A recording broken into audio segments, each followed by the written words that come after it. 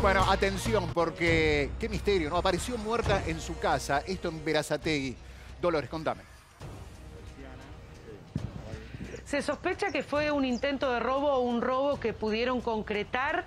Lo que se sospecha son dos asesinas, dos mujeres que escaparon del lugar vestidas con ropa oscura, una de ellas con el pelo rapado. Mataron a esta mujer de 80 años, Margarita Toledo. ¿Cómo la mataron? Usaron un cuchillo de cocina.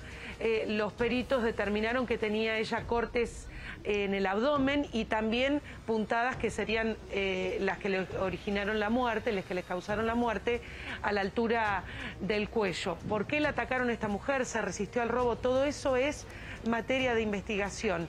Vivía aquí en uno de, estos departamentos de un complejo de monoblocks de Verazategui. Los vecinos llamaron al 911 porque esta mujer no aparecía, estaban acostumbrados, habituados a verla todos los días.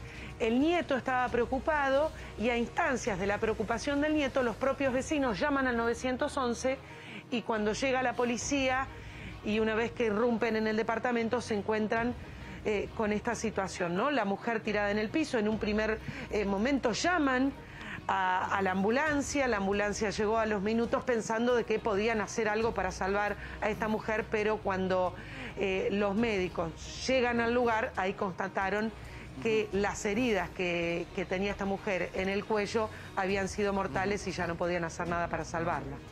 Bueno, en un ratito vamos a volver sobre este tema que por supuesto genera allí en Berazategui una gran conmoción. Además, eh, la, la, manera horrible en que murió esta mujer degollada, así la encontraron en su casa. Gracias, Dolores.